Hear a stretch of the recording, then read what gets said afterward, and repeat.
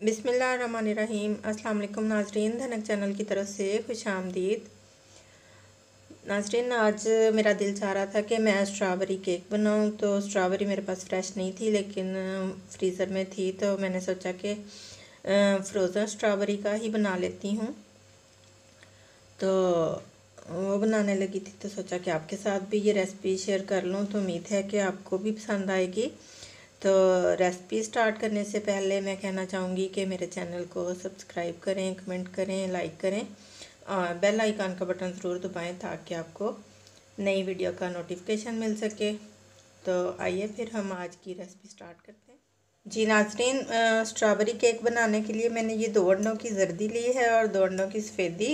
ये बस अलग अलग इसलिए किया कि सफ़ेदी को थोड़ा ज़्यादा बीट करना पड़ता है और जर्दी को थोड़ा कम। और ये सौ सौ ग्राम मैदा और सौ ग्राम चीनी चीनी को मैंने बारीक कर लिया और सौ एम घी है ये, आप चाहे तो मक्खन भी ले सकते हैं या कुकिंग ऑयल भी। और ये वन टीस्पून बेकिंग पाउडर और स्ट्रॉबेरी जितनी आपका दिल हो आप डाल लें। मैंने ये थोड़ी सी ली है। तो अब हम केक की तैयारी करते हैं। जी, नाजरीन, ये एक बर्तन में हमने घी डाल लिया अब इसमें हमने थोड़ी थोड़ी सी चीनी शामिल करते जाना है।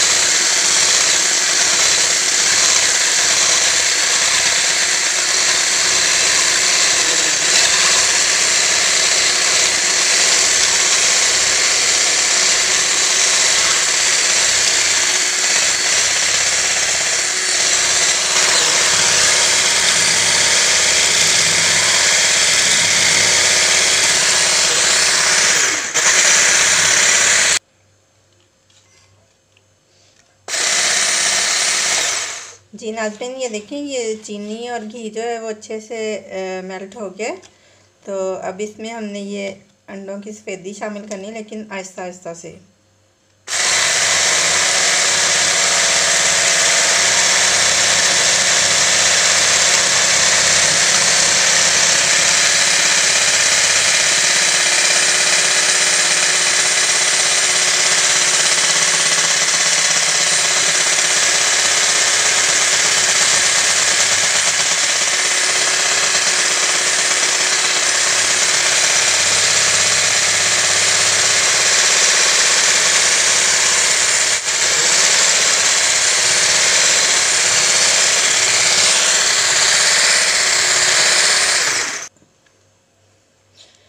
और अगर ये इस तरह का अब हो गया पेस्ट सा बन गया, अगर चाहें तो इसमें हम टू टेबल स्पून दूध शामिल कर सकते हैं, ये ऑप्शनल है। तो मैं शामिल करूँगी इसमें ये टू टेबल स्पून दूध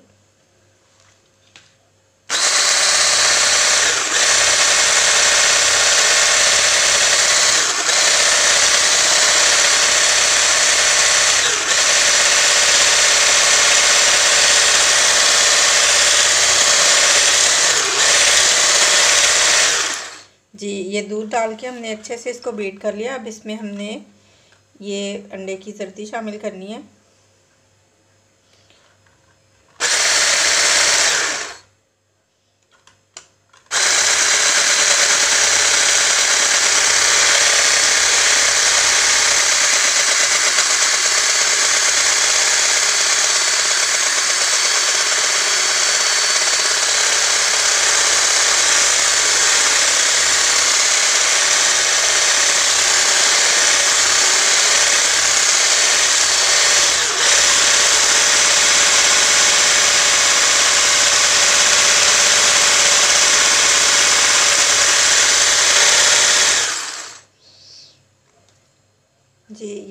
अच्छे से।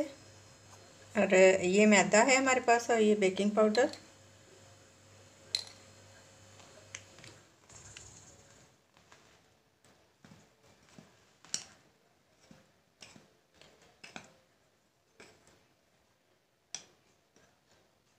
चाहें तो आप कोई बर्तन बदल के इसको कर लें मिक्स कर लें, चाहे तो इसी में कर लें। तो इस तरह हमने जिस तरह चीनी थोड़ी थोड़ी शामिल की थी, उसी तरीके से हमने मैदा भी थोड़ा थोड़ा ही इसमें शामिल करना है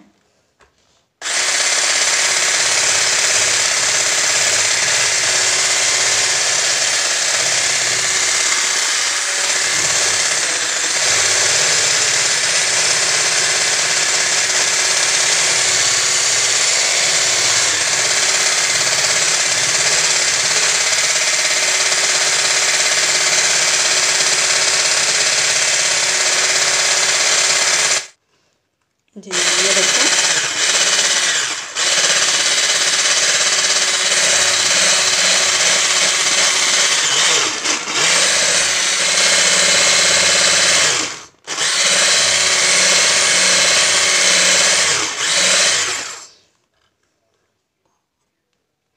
जी नाजरीन अब हमने इसको थोड़ा बहुत रह गया, वो हाथ से इस तरह करेंगे। ये सारा मैदा जो है साइडों पे लग गया। इसको हमने इसमें अच्छे से मिक्स कर लेना है। और ध्यान हमने यही रखना है कि जब बीटर जो था वो भी इसी रुख पे घूम रहा था तो हमने भी इसको इसी रुख पे ही घुमाना है। ये नहीं कि हम इसको ऐसे घुमाएँ एक ही रुख पे इसको घुमाते हैं जब केक बनाएँ।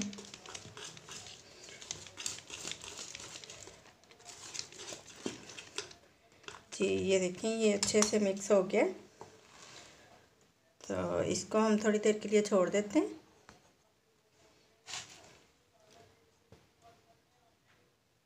जी, ये हम स्ट्रॉबेरी को इस पे काट लेते हैं अब।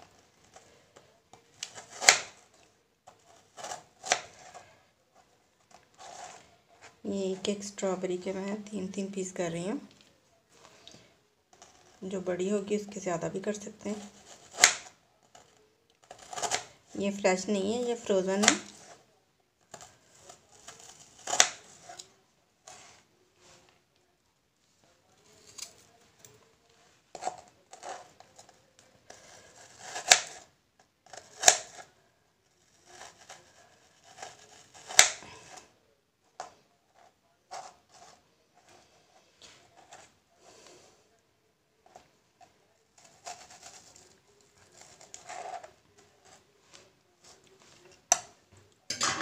ये हो गई कटिंग इसकी। जी, ये हमने केक बनाने के लिए पैन लिया। अब इसमें हमने थोड़ा सा ऑयल डाल दिया। और ऑयल को हम अच्छे से ग्रीस कर लेते हैं।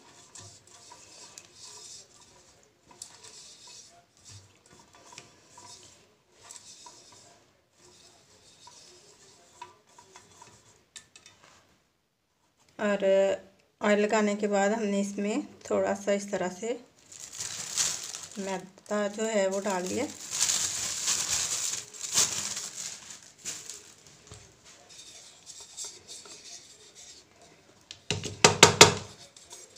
और इसको कोशिश करनी कि हाथ ना लगे, लेकिन इस तरीके से।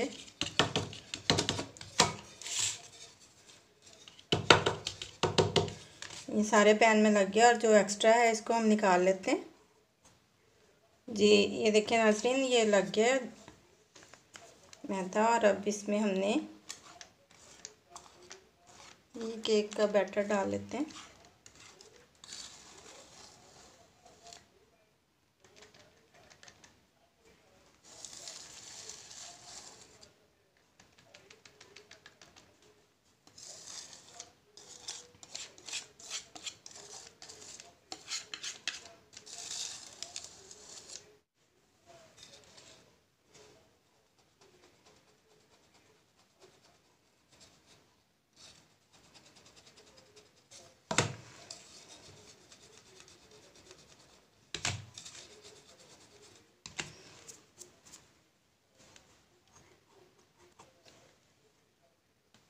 जी, ये हो गया। अब इसके ऊपर हमने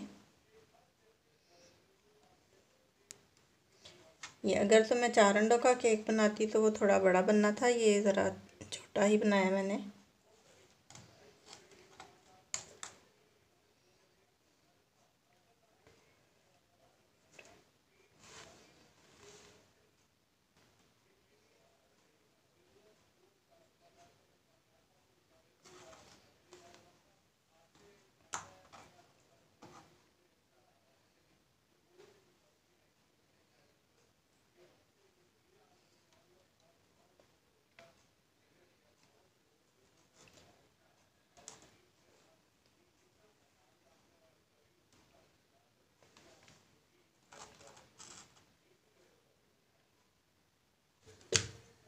जी ये देखिए ये हमारा बर्तन है। और इसमें हमने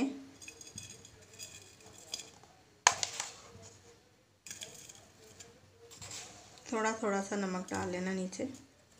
बहुत ज़्यादा नमक की ज़रूरत नहीं बस। और अब इसके ऊपर इस तरह एहतियात से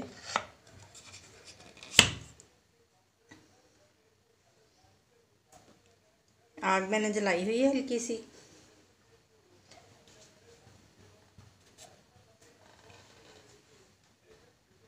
और ये इसको हमने कर दिया बंद। और ये देखिए, ये एक छोटा सा सुराख है। तो उसके ऊपर इस तरीके से हमने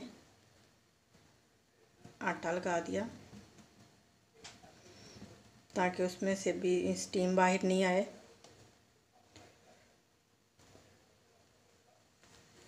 और इसको अब हम लो फ्लेम पे तीस मिनट के लिए छोड़ देते हैं।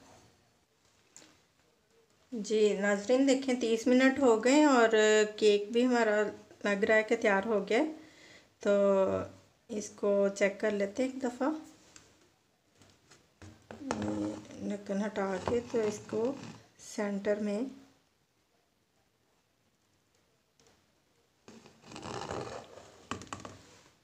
ये देखें, ये स्टिक जो है बिल्कुल साफ़ है। इसका मतलब है कि केक बिल्कुल रेडी हो गया तो चूल्हा कर देते हैं हम बंद।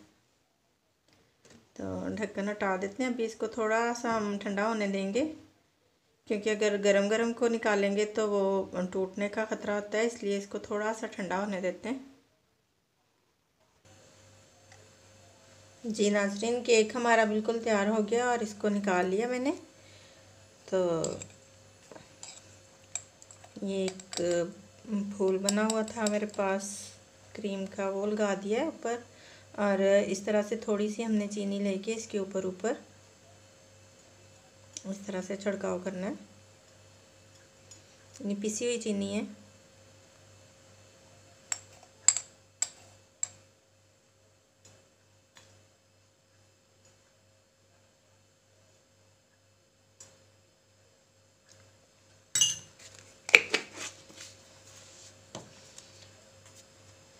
तो उम्मीद है कि नाजरीन, आपको ये केक पसंद आया होगा और आप भी ट्राई करेंगे। तो इसके साथ ही अब मुझे इजाज़त दीजिए, अपनी दुआ में याद रखिएगा अगली वीडियो तक के लिए।